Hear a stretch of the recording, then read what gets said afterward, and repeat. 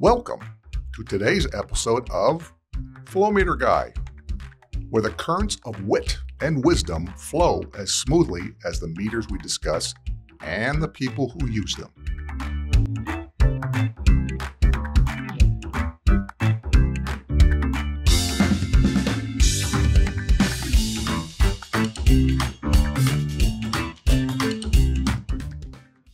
Today, we are honored to welcome a distinguished guest who is an expert in test and balance industry and renowned for his remarkable success in building a thriving business. So, young man, what's your name and what do you do for a living? Well, Brent, Joel Shannon, I uh, am CEO of Research Air Flo, Mm-hmm. amongst many other things, which we'll get into, I'm sure. So, you are what, based here in the Atlanta area? Our headquarters is in Atlanta, Oh. and uh, that's where we were founded in 1977. And uh, we've got offices in Charlotte, Charleston, and Raleigh. Boy, you're busy guys. So, when you're not running your business, what kind of activities and hobbies do you have that uh, bring you fulfillment outside your busy life? So I really enjoy hiking. Do you? Yeah, and uh, your wife and I have talked about that Yeah. on some trips. She's she's quite the adventurer, but uh, adventure, but not as, as much as you. You're Yeah. actually doing it. We just talk about it. yeah, I, I enjoy it. Uh, lately, I've gotten very busy with a lot of extracurricular work uh, stuff and organizations I'm serving with, and it's kind of taken away from the the hiking. But um, I enjoy hiking. I also enjoy ham radio, Ham radio. ham radio, amateur radio, Amateur Call it- radio. Call it ham for slang. Okay. Yeah, and uh, so I have a lot of fun. I've got a pretty nice station at the house. It's currently. I saw, yeah, if you can take a look at these pictures there. The station or house is a very nice broadcast station from an old radio guy. It looks pretty fancy. Yeah, that's all modern stuff. I've got some antique tube type radios as well, Really? and amplifiers and antennas hidden very nicely. So the HOA Can, can you help us with our internet service here, maybe? Maybe, No? maybe. I have Okay. to call call uh, Elon Musk see what he can do. Yeah, some Starlight or whatever else they have there. So this is a hobby, but as we talked earlier, it's quite in depth. You're actually providing some services as well. Yeah, um, a lot of the ham radio community gets involved with emergency communications in Mhm. case there's hurricanes or uh, you hear. If you've ever heard of weather radio, you hear somebody say, "We need spotter activation in this area." So um, they have people that are trained for skywarn nets and things like that. They have what they call nets on the radio. So if you start hearing thunder or seeing some Yeah. warnings on TV, I always flip on my ham radio. I've got a handheld I keep in every room of the house just about. Really? And, yep. And so we've got wide coverage repeaters that are on mountaintops all over North Georgia. So they cover a real wide area and they link all those together all the way down to South Georgia. So if we've got a, something coming in from Carrollton or somewhere Mhm. like that heading across Atlanta, we'll know about it hours before it gets here. And somebody in the Peachtree uh, City Weather Service office is connected to this net, meteorologist, and feed them information about the storm patterns, So and that's what damage. the real time information, basically, from the guy with the Doppler radar. Just got big screens, basically, with a bigger picture. exactly. That's the about boots that? on That the is- ground. so. that's amazing.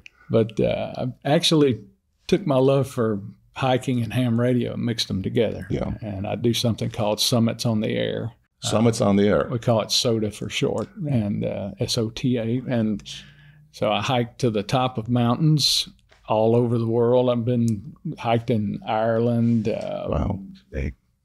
Hadn't been to Costa. I've been to Costa Rica. Didn't get to do, Yeah. a, do a mountain there, but I've done some in uh, all over the United States. Um, I've got a picture you're probably going to be showing uh, on top of Jane Bald, and that is on the Appalachian Trail. On the Appalachian Trail. Yeah. and that sits right on the uh, border of North Carolina and Tennessee in Roan Mountain, Tennessee, hmm off of Carver's Gap. And so that's uh, a hike I was doing, doing ham radio there. And uh, another shot I've got is uh, you, you saw the big radio station. Sure. Yeah.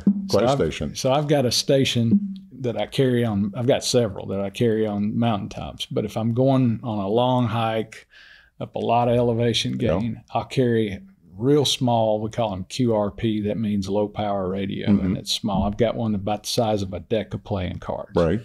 Puts out three to four watts. I've contacted New Zealand with it. Really? Yes, and it's Morse code only. So I, I mean, it's an old school. That's a digital If communication. it works, by the if way. it works, if Yeah. it works. So the purpose of going up the higher mountains Mhm. is to get a better ele- elevation, and then for your antenna, you get better coverage. Then I assume. Yeah, and Yeah. some exercise. That's, So they, that's why he has to do Morse code, going climbing up the mountains there. so we, we carry portable antennas and string them up. I've got Yeah. a picture of one that sometimes we throw them up over a tree. The picture I'm on gotcha. that I've provided for you is from uh, Dante's Peak, Oh, really? which is almost 7,000 foot above Death Valley. So in the- in the picture you can see in the valley down there, that's Death Valley. And That's quite a hike. Yeah, and that portable mast that's set up that you see an antenna sloping from, uh, when it's collapsed, is about 28, 32 inches. And with it fully extended, it's about 30 feet long. Really? Yeah. So I carry that to the top of a mountain. Oh, goodness. and slope an antenna, and the takeoff angle from the radiation of the antenna because of the slope of the mountain gives you a better takeoff angle, Oh, wow. and you're able to You got some math Have better- involved here too. better Okay. trajectory of your radio wave hitting the ionosphere and bouncing down on the So other that's side. all about right. As I've read, it's all about the bouncing to get your signal farther and farther. Like you said, you're Yeah. talking to people all over the world. Yeah, That's so it's amazing. a lot of fun. A lot of fun during COVID. Um, there, there's a guy that sells a service for people that live in apartments and can't put up big towers and Yeah. so forth. So he's got a remote radio station you can connect to over the internet and talk to people all over the world through a radio station on a tower. So Isn't that something? his towers are um, located in Maine, like right on the ocean Mm-hmm. and it's the farthest station in America, closest to East, Europe. And so during COVID, when all the, you know, Italy was shut down, Right. Uh, he was talking to people over there, and they were telling you what's going on and where they can go That's and where amazing. they can't go, and so getting. You know, like, what do you talk about? You know, and, and who you talk to, but you you find out about people and their way of life, and it just makes the big world a little smaller. Isn't that something? It's cool, yeah. That is a a lot fun of hobby there. It's a lot of work. You got a lot of toys there. You've obviously experienced how it works there. And you said the organization itself, there's other people that are joined with this whole thing. Oh, so Oh, yeah. you're not the only one. It's a family. No. Wow. Yeah. What else? Thank goodness there. So you mentioned you had some musical skills as well. Yeah, so uh, your your tech here told me not to bang on Not the to bang table. on the table. so I've I've played the drums. I've been playing. I'd like to know how long I've been playing, but uh, I think I I got a set with paper heads on it called the Noble Oval or something when I was five years old. Yeah. and immediately destroyed it within five minutes. And uh, so uh, my mother, she went to went to meet one of my teachers for a conference when I was real young, and she's teacher said, "You know, Joel's a good boy. He's he's, he's going to make a good citizen. He's, he'll fit in with some civic duties and volunteer work and all. But can you please get him to quit beating on stuff?" And my my mother said, "You figure that one. You out. figure that out, huh? Let me But a bump, but a bump, but a bump, but a bump. Well, my favorite uh, uh, music we looked this morning is uh, the, solo of uh, In-A-Gadda-Da-Vida. So you Oh, probably yeah. know that very well. Huh? Yeah, yeah, yeah. We should play that music in the Iron background there. Butterfly. Iron Butterfly. My dad used to listen to that. My dad was a guitar player, Was he?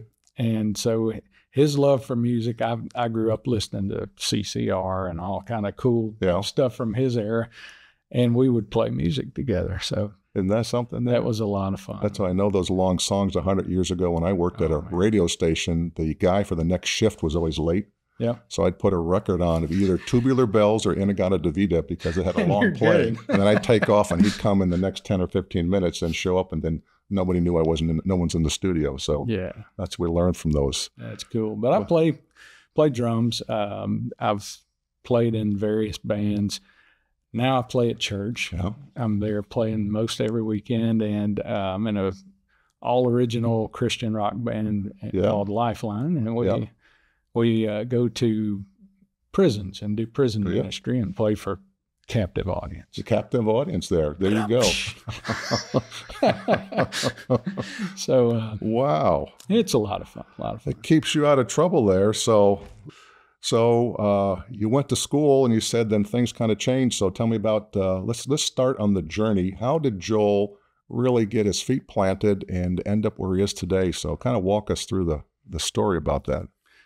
So yeah, um, growing up with my dad playing music and all, he was uh, real involved in my life, and um, he would get me to work on everything with him. Mhm. So there's a cool meme on or a little video or something going around on social media that uh, kids nowadays don't know the pain of holding the flashlight for their father There you go. because you you get cussed out quite a bit when Yep. you're uh, put it right there. I said,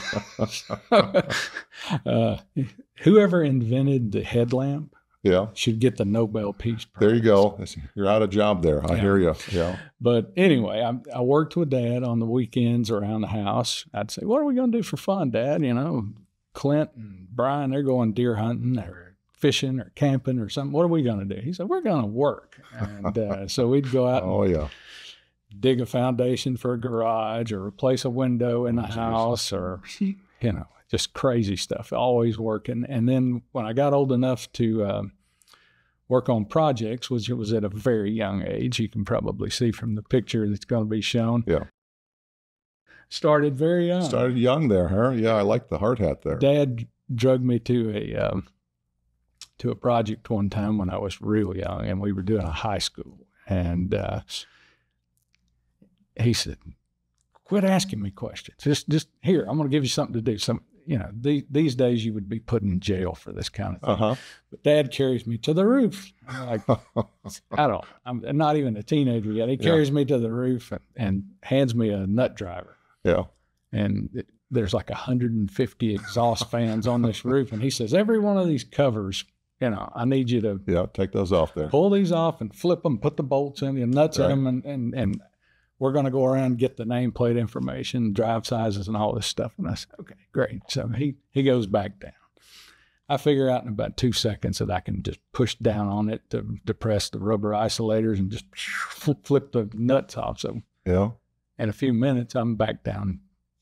Dad, what you want me to do next? You can't be done yet. Yeah. Yeah. Yeah. You figured it, huh? Yeah. So I would work with him on uh, weekends and, uh, and during the summer when I wanted to buy a drum set or something. There you go. Go kart or something. He There would say, come work and you can earn some money. And so I would go with him, work on projects. So I got exposed to test and balance at a young age. And then my love for ham radio, I got involved with that at a fairly young age. So when I graduated high school, I had a love for electronics. hmm And so I decided I'd go to night school, um, the cab tech, and take some electronics courses. And I really enjoyed that. And dad was saying, ah, you need to learn about HVAC. So I enrolled in some HVAC classes there Mhm. at night and not a real good student, but you know, I, I was going to give it up, give it my all. And dad, Yeah. dad landed a big project in Augusta. And he said, uh, son, we're, we're going bankrupt if you don't quit school and Uh-oh. help me finish this job. Uh oh. So What, are- what are you going to say, huh? I said, okay, dad, I'll, I'll, I'll take one for the team. So, uh, went to Augusta, ended up being there four years. It's a long job. Isn't there a song, Augusta, Georgia's just no place to be? No place to be for yeah, sure. Yeah. So I can, I can testify. That's Yeah. There's nothing in between. Oh man. Yeah. Uh, paper mills rolling in there. Yeah. But we we had a lot of fun. That was probably the worst job I ever worked. That was the worst job. Yeah, and the best Yeah. because that taught me perseverance. We had, Taught your perseverance. we had a lot of problems on that project. We had to uh, rebuild thermostats, do things that we don't even do as test Mhm. and balance people. The uh, compressed air system filled up with water all the way to the fifth floor, and you could go open an an air valve, Right. and it would fill up buckets of water. You know, that's not supposed to happen in a compressed. I air guess system. not. So. I got to uh, rebuild the thermostats and clean the diaphragms in them and, and calibrate them, and we sold that service to the customer and uh, ended up scuba diving. That's another thing that Scuba diving. I I, didn't mention that to you. Uh, but didn't know HVAC was underwater. before I got married, yeah, another before I got married story. before I got married, Yeah. I was a cave diver. What? Yes, I, I, I spent several years training to go back and do underwater exploration Kidding. in caves in northern Florida and spring systems. Wow. So you don't you're not claustrophobic then. No, and believe it or not, in a cave, yeah. being confined Yeah. is a good thing. Yeah. I have been in rooms in a cave where we had these halogen lights Right. that are ridiculously bright, Right. battery packs like this. Can't say anything. You can shine in any direction, up, down, up or down, side, front to back, and not see anything but water. And that's scary because you can get this And disorder. this is in Florida. I heard it's nothing but a honeycomb, basically. yeah, Florida is it- that. it's amazing. All these aquifers and springs Right. underground. But uh, I guess the longest dive that I did was with six tanks. A little Wow. over, little over four hours That's a long. decompressing with uh, pure oxygen at 20, 30 feet Oh, of depth for hours end, geez. and that was a lot of fun. A lot of fun. but anyway, I, I, well, I digress. While, while I was in Augusta, I did some scuba diving at Clarks Hill Reservoir, where there's three foot long alligator gar in this lake. Oh, Man, it's geez. unreal. They got snappy teeth and Oh, geez. Yeah. Unbelievable. So uh, you mentioned that. Let's tell our audience what, what is test and balance? Give me a quick uh, Hmm. breakdown. the elevator pitch. So, What is it? so fluids, Mhm. air or water, Mhm. as you deal with, Right. That's a flow meter part. That was a That's- ticket to get in. that's a flow marker. Yeah. So air and water are not very intelligent. They take the path, and they're lazy. They take the path of least resistance. Right. So um, you turn on a, a system, a pump, a fan, hmm the fluids are going to go wherever they can get to. The engineer has designed systems to have to have certain amounts of airflow or water flow to cool or heat, uh, dehumidify, and a building or facility, Building or okay. facility. Okay. And so we basically push fluids around hmm with dampers and valves and validate that they meet the design. We, we- that's in the simplest terms. But we also take temperatures and prove energy exchange and uh, try to tune systems and calibrate sensors so that they're optimally operating for the best efficiency and least energy use. And it's it's exciting. Pays the bills. It's another another niche market, it is a very niche market, but it has a need. And uh, so you, uh, after you got done scuba diving in Augusta, then uh, basically you came back to the organization here in the Yeah. Atlanta area. And uh, then what did you do after that? So my dad um was working out of town in Camp Lejeune, North Carolina. Did Oh. some work at a at a base out there, and uh, he was overwhelmed because most of the company was in Augusta finishing this project. He was trying to do some military work up on the coast, and uh, you know what it's like to be the chief cook and bottle washer, Sure. having to wear all the hats before you get a team and delegate and all that. But uh, he was he was overwhelmed a little bit, hmm and he had he had prayed that the Lord would send him a business partner. And he was out of town, you know, away from Atlanta. He said, Right. he said, he goes down to this hotel lobby, you know, you know what it's like eating on the Sure. road, you're by yourself. Yeah. He, he's sitting in the lobby and he looks across the lobby and here's Charles Derrick. And it's a guy he worked with at Tab Services years and years, Years ago, and that was also in the Atlanta area. also in Okay. Atlanta. And uh, Charles had had a son who's now my business partner, Mm-hmm. Kevin. Charles had a background in cotton farming and chicken farming.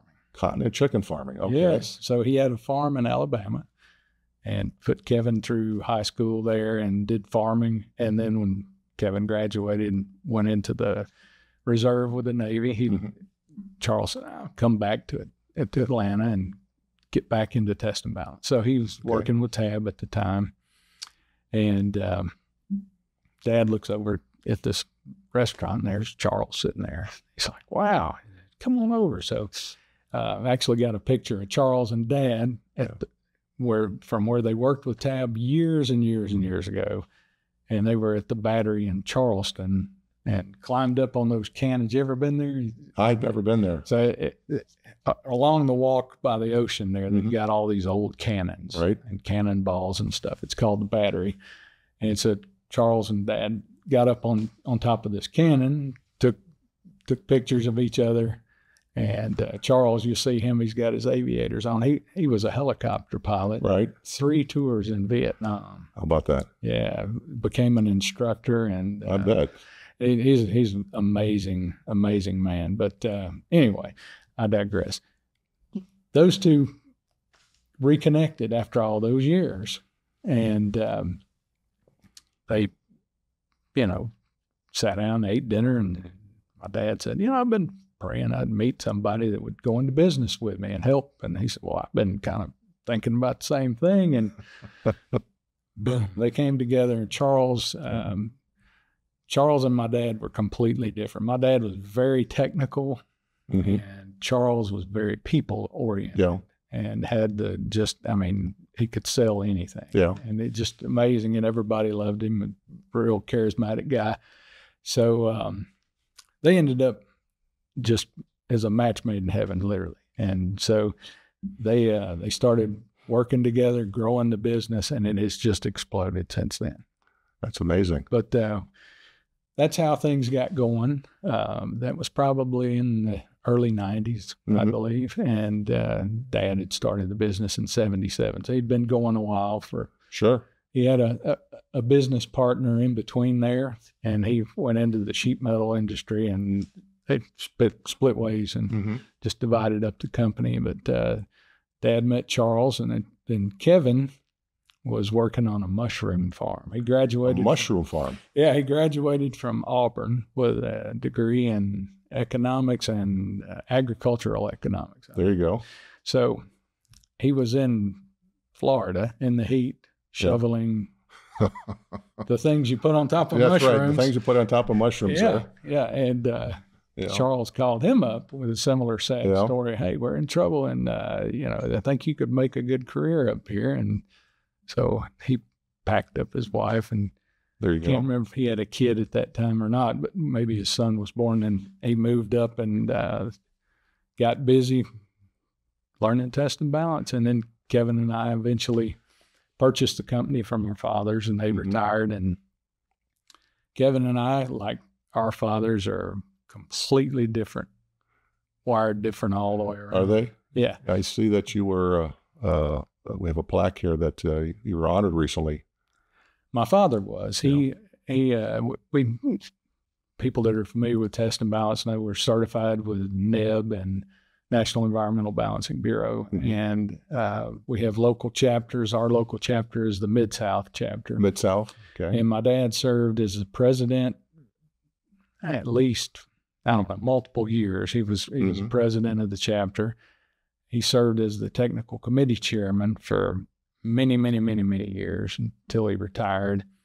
And uh, a few years back, our chapter came up with the Founders Award. So Neb's got the George Hightower Award. He's one Mhm. of the guys Right. that helped start Neb. He was a flying tiger in the World War II. and great guy. I got to do a project for him once. But Wow. uh, anyway, um, they decided we're going to have a prestigious award, and it's only been awarded, I think, three times now. And Really? they awarded that to my dad Oh, that's great. Yeah, I saw the plaque of that recently. We'll show posthumously. That, they gave it to him, and I received it on his behalf in uh, Wilmington, North Carolina. Right. So we, we get to That's great. we get to hang out with some cool people on those research, and yourself included. There you go. So fun. You mentioned these organizations that you, you mentioned NEB and some other organizations there. What's the purpose of these organizations? Oh wow! What are they? They're just training or guidelines or So we've their- got a lot of core values in NEB that have to do with uh, You said NEB stand for National Environmental Balancing Bureau. that's what it originally stood for. Okay. Yes, and I think it's now it's just known as NEB. NEB. But- Okay.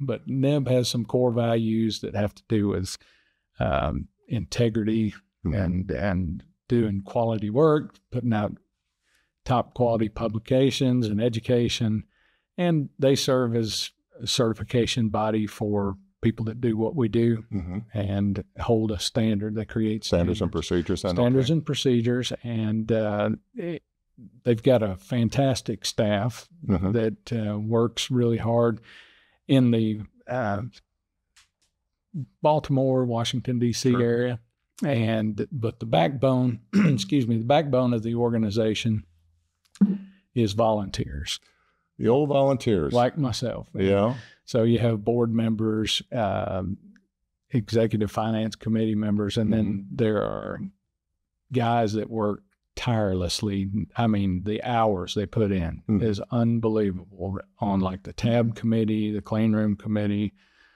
uh, standards test development committee. These guys are just they've got normal jobs Right. they go work on these tasks for free.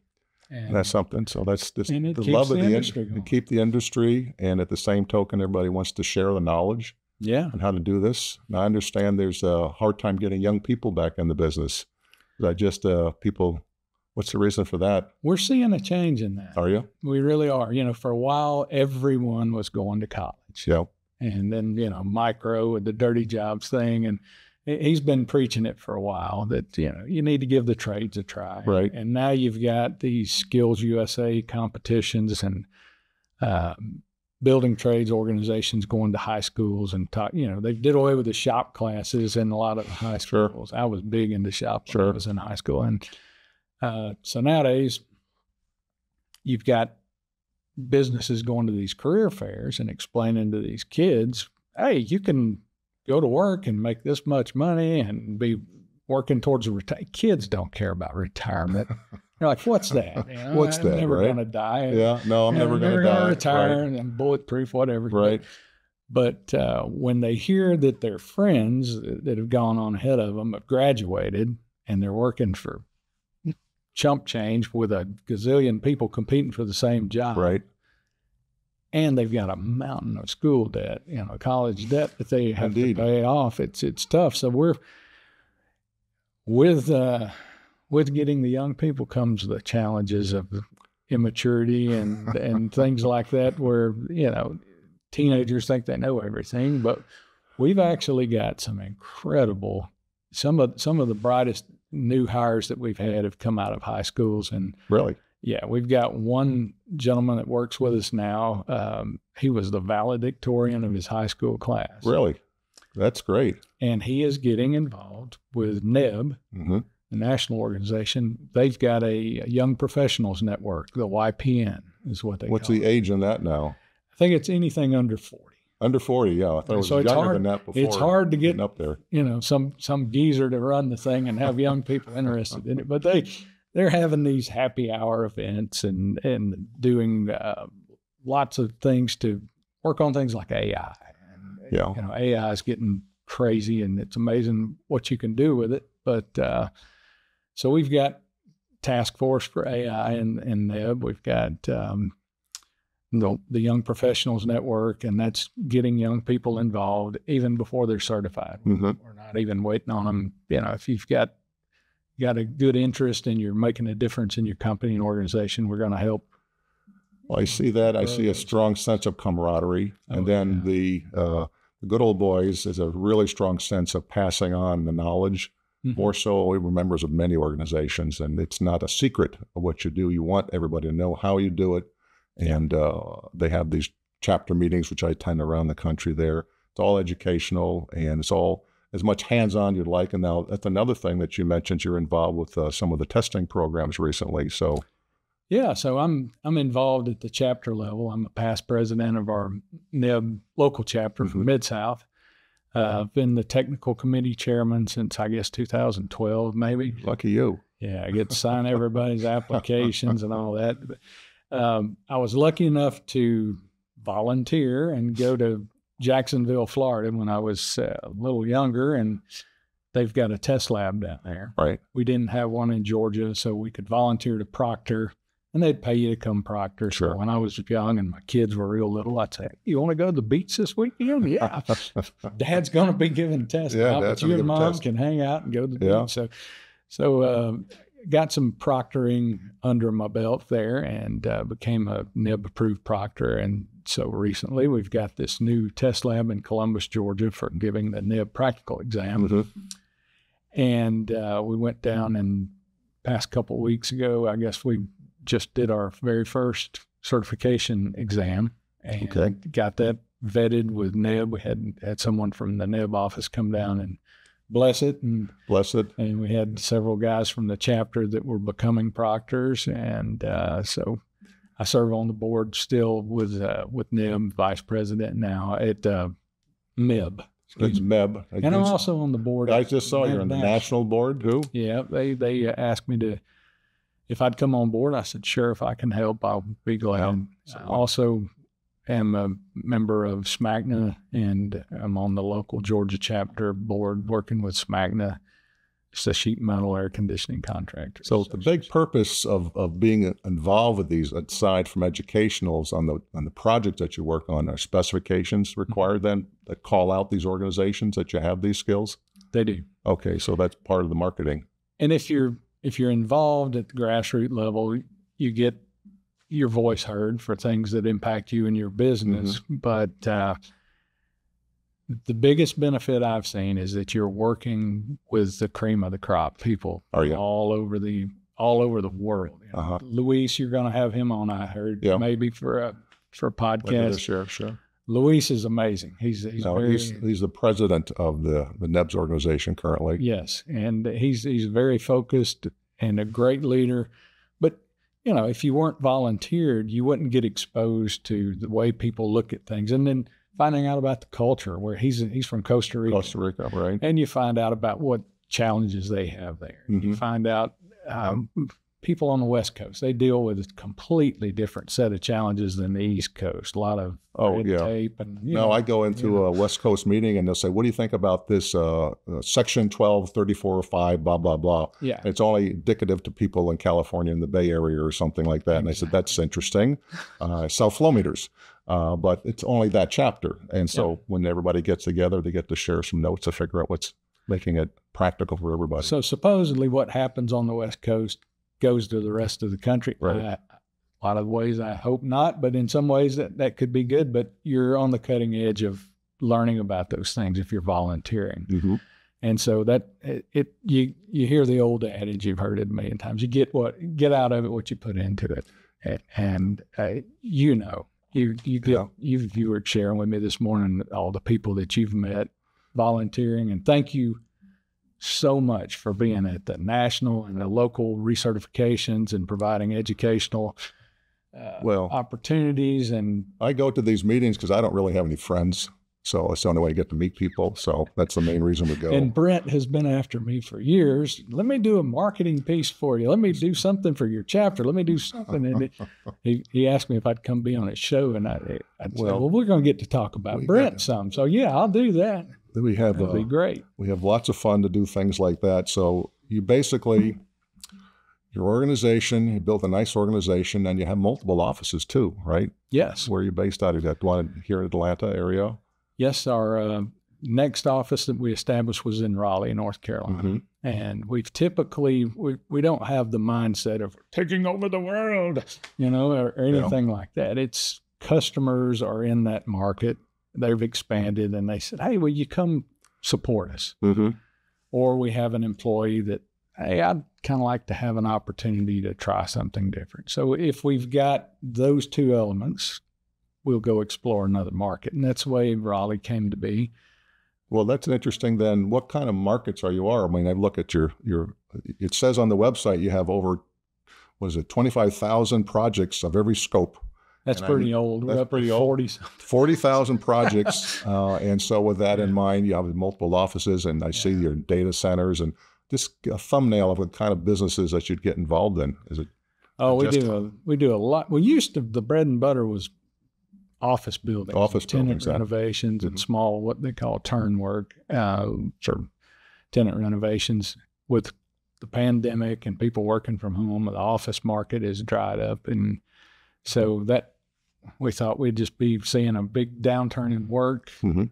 It's been gangbusters. Really? Yeah, we're we're involved heavily and have been for years with healthcare market, working in hospitals, mm-hmm. laboratories. We do air change testing in operating rooms and isolation rooms, which are pretty popular during pandemics and things like that. So, no, I bet. Uh, keeping those certified up to speed, then the data centers uh, with the AI market and people working remotely, there's a there's a big need for data centers and housing servers all over the place, and Amazon's replaced yeah. the we get, brick and mortar stores. So everything's data center driven. So, and then cases there, you're also we've done some projects with you that, in addition to test and balance, was just flow surveys, basically yeah. collecting. So you're basically doing a discovery process. The data center, how much water are we using, and then you may recommend solutions to to optimize the facility that you have there. Yep. So uh, if there's water in a pipe, I'm involved. I do a little bit of air, but you're doing water and air. And at the same time, you're analyzing the system mm-hmm. and making recommendations to maybe a contractor or a building owner. Said, you know what? If you did this and this and this, you might be able to enhance your system and save a little money. It really comes down to money, really, to get down exactly. to the whole thing, doesn't it? Exactly. I talked to an industry leader, customer of ours that's doing a lot of data centers, and he said that the uh, data center market's shifting more now. At one time, it was heavily sheet metal involved, mm-hmm. of ductwork involved. Now it's more direct water cooled. So you're seeing more fluid from your end. Uh, in row coolers, power distribution units. Yeah, that's what I see. It's the I have no idea. Some of the facilities say how much water consumption the oh, data centers that, that makes an impact on a community big time. So it's a big deal, and they're moving some more here in the Atlanta area as well. Just yeah. seeing all the uh, trying to get tax abatements to get these big guys in, but it's a price. Yeah. Where you're you're taking all their utility services that other people may have limited access to. But hey, get off the internet, huh? Yeah. So. and we were very blessed to pick up uh, Plant Vogtle work. We did oh, the really? Two reactors. The nuclear plant. Okay. Yeah. The, the, those are the two first reactors that have come online in decades. Right. In, the United States. So, and they're both currently online and uh, operating well, and that provided a lot of work for us. That's your so you diversified. How many people do you have now? I'd have to stop. He's guessing. So, somewhere around ninety employees total. Yeah, it's a it's a lot. And you have time to come visit me. That's amazing. Oh, I've always got time to come see Brent, man. It's that is it's a, a lot of fun. You got a, a great facility here. It's a lot of people to uh, to organize, and so as you said, you're up to forty thousand projects right now. That's amazing. Hmm. Uh, multiple offices there. So, a um, couple of thoughts yeah. to kind of wrap this whole thing around. So you're you're a busy guy, got all kinds of hobbies. Mm-hmm. You're growing your business. In the spare time, you're in radio uh, and a, and a band, a church, mm-hmm. and uh, taking care of family. Yep. And uh, you got a couple of dogs. Oh and yeah, can't forget the dogs. Got two dogs. Got two dogs. Got to take care of, and uh, uh, and the family. And uh, so the thoughts are: you shared a lot of knowledge and, and how you got there and uh, it's obviously part of that is your your spirit and how you've got from point A to point B. And second thing is character, the way you're working with people.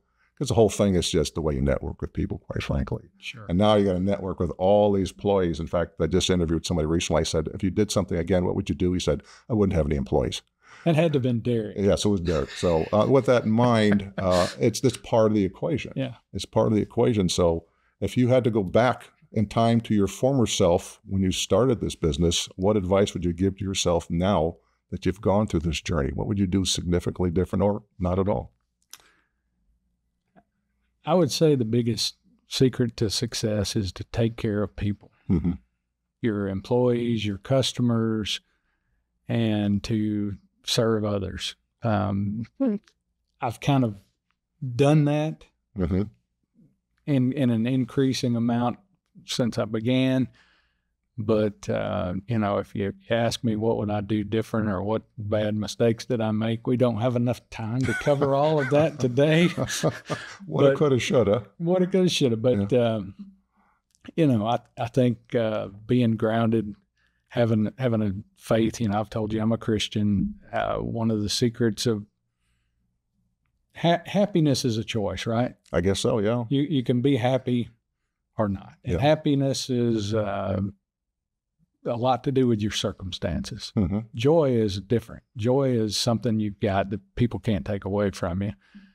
And so joy is Jesus, others, and yourself. Yeah. You put yourself last. So, in in the mix of all that, being grounded with the character, taking care of other people, and realizing that the reason that we're doing this work is there's families involved. There's people, There is, There's yeah. people that uh, we have very low turnover at our company. We've got multiple people that have been there 20 plus years. Wow. That's We've had three or that's four retirees. Mhm. We've got our division manager in Raleigh is going to be retiring maybe this year, and he's Tim Larson. He's phenomenal, Mhm. great guy, and uh, you know, just those people have dedicated their lives to going out of town, doing work, and taking care of us. And so, if, if we take care of them, that's that's the that's the secret. So, That's- just keeping taking care of others and and they'll take care of you. and everything else takes care of itself.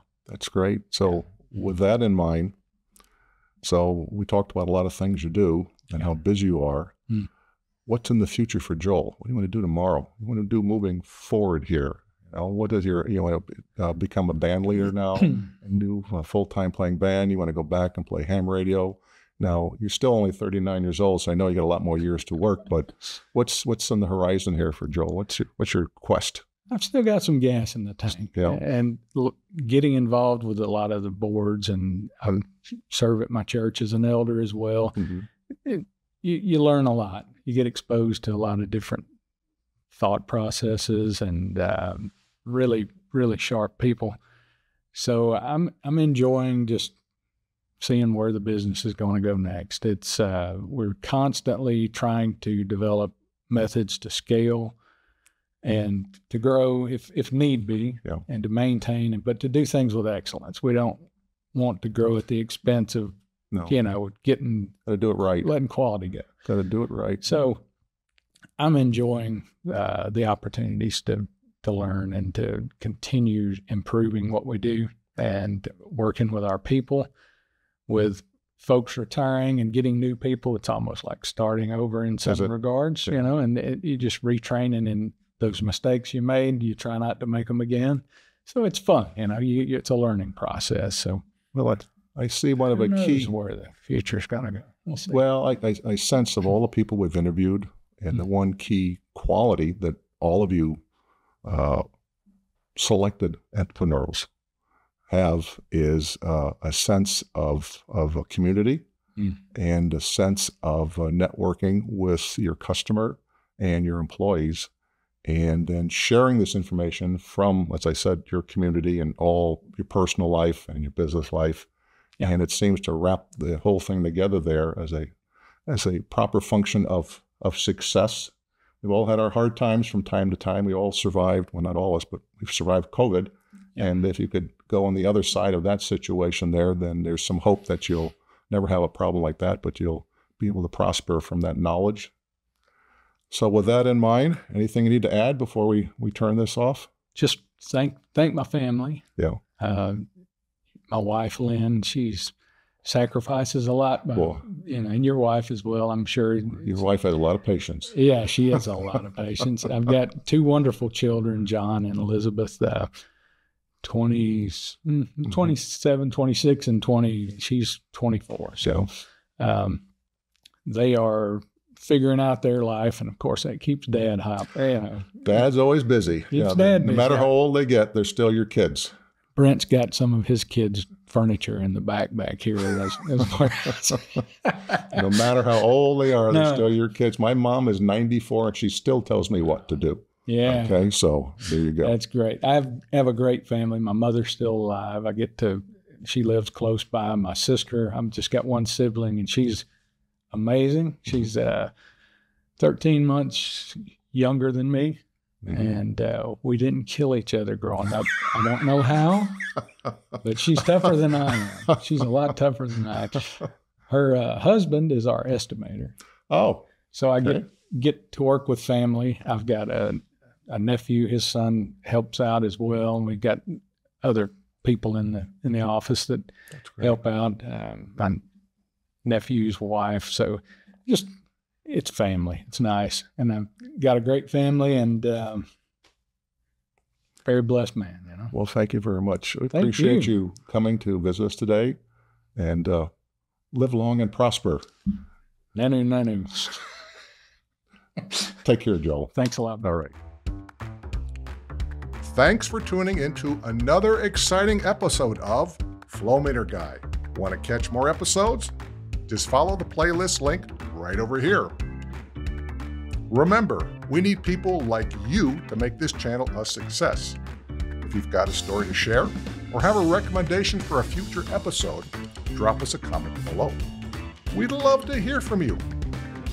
Well, then, until next time.